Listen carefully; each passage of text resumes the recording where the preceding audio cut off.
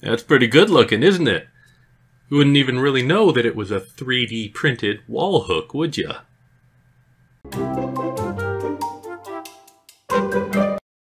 Hey everybody, so my wife challenged me to make a wall hook because we needed one with these little hooks that we can put things and hang them up in the kitchen.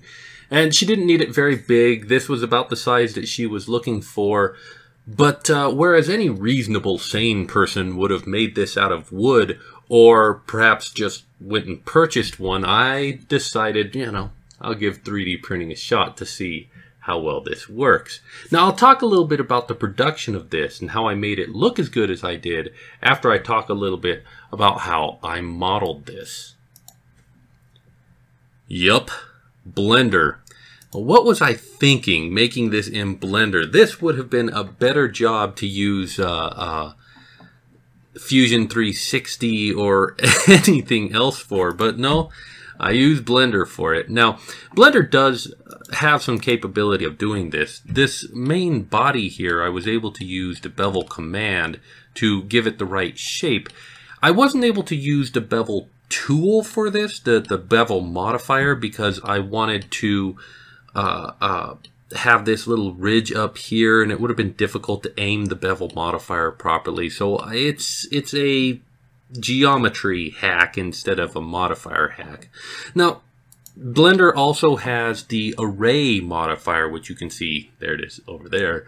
Um, and this array modifier allowed me to make just one of these little holes for the interface of the hook and then multiply it four times. And let me, I used the bool tool, so it turned it off. Let me turn it back up to being uh, uh, solid here. So these four of them come from using the modifier tool. That way I can get them evenly spaced and I only have to edit one of them and then put them all there. Let's put this back to bounds and come out and you can see those holes.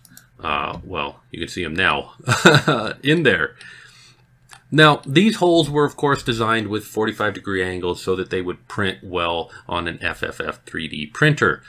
Um, however, it wasn't until after printing that I noticed I made a little boo-boo here. This last one goes just a little bit too far over the edge. And so really I maybe should decrease my my offset by possibly even just a tenth. Uh, maybe a little bit more than that. What happens if I drop it all the way down to 47? That looks about right. Let me eyeball it with the front. Uh, maybe even a little bit less. Uh, let's say 46.7. 46.5. Yeah, that looks about right. Okay, so I've just fixed the problem that you're going to see in the print. Now, for the hook, oh, this is the little nub that goes into the holes for the screws.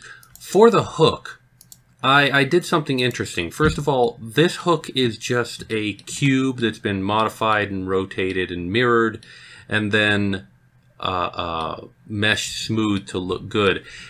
And now that I've actually printed it out, I had a lot of trouble getting this to print out. And the best thing that I found to print it, to, to make it print successfully was to take it and rotate it, tilt it up a little bit so that this hook wasn't laying this flat so much, but that it was standing up more and just put a bunch of supports underneath it, which this design obviously was going to need supports anyway. So printing it at an angle finally made this succeed.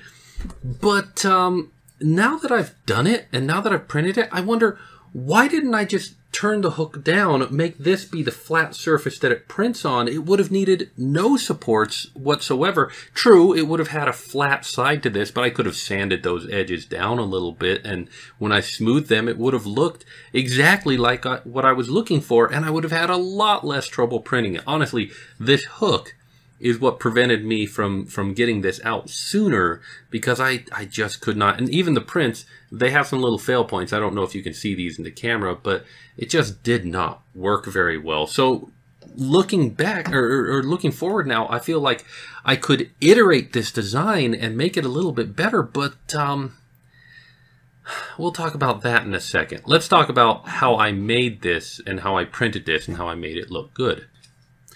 So the hooks are printed in ASA filament and then smoothed out with acetone so that they get that nice shiny painted metal look or formed plastic. But either way, it, it, looks close enough to the real thing that I don't think anybody's going to realize when they look twice. Now you can see the mistake here that this one is dangling off the edge a little bit too far. And if I pop it out, you can see that, yeah, there's, there's that gap there. So I probably should reprint this whole thing, but uh, I'm not going to worry about it. The the back was printed in cork fill, and I, I have to admit that this project was part of the reason why I even considered getting wood fill or cork fill. Uh, this is why I decided to go with cork fill instead of just regular wood fill. Now this is printed just about as wide as the build plate on my Replicator 2 could handle. But now I've got some interesting questions. Think about this for a second. If I, I made this for me, it's just a silly little thing that I'm doing, but I really should release the STLs, shouldn't I? Uh, you want to have them, possibly.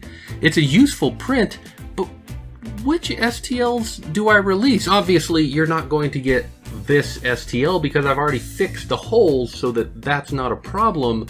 So that's one change. Should I go ahead and try and make the improved hooks that I talked about? Should I print them out before I upload them? Should I test them before I put them out there? Or should I just put them out there the way that they are? The truth is, I have what I need. Why should I bother iterating it for you other than the fact that I'm a nice guy and I probably will? but I'm not going to print them out and try them out. See, this is this is part of the thing when people say, "Hey, you should share your STLs and you should put them out there." They don't realize there's a lot of work and thought and effort that goes into sharing your STLs. You don't just throw them out there, or you do, but if you're responsible and if you have a 3D printer, plus you got to take pictures of them and you do the test prints and you share your settings and everything like that, it's not as easy just to say, hey, share your STL files, especially nowadays with so many things being uploaded every day. You can't you can't compete unless you put a little bit of effort into it and I'm competing for free. Do I really want to do that? Now, of course, I'm going to do that. But when people say, "Hey, you should share your STL files," these are these are the considerations that go into the thought, and I wanted you to to get a little mind for that. Um, be kind when you ask for people's STLs. Realize that there's there's a lot of effort that goes into sharing STLs. But if you want to have this, I will have multiple different versions with different sizes so that you can print it out on your 3D printer that might not be as big as this one. I'll try to even make it mini printable, and I'll have the updated experimental hook. So if you want to try them out, you can do that. But here, here's a useful print for your home, something that you can you can do and and maybe impress people. Maybe not impress them. Maybe they'll just look at it and go, "Hey, it's a it's a 3D print, or it's it's a wall hook," and you'll go, "Yeah, it's a 3D printed wall hook." Anyways, I want to thank you guys very much for watching as usual and thank my Patreon supporters for backing me. There's always room for more people on the tile wall there, so thank you guys very much. And if you want to support me, there's links to follow, but I appreciate the views even. I want to thank you guys very much for watching and say safety first. I'll see you next time. Do you want to know more about 3D printing but don't know where to start? Or did you buy a 3D printer but you need some help getting it going? Don't panic. The beginner's guide to the 3D printing galaxy is here, now, for you. Buy it on Amazon.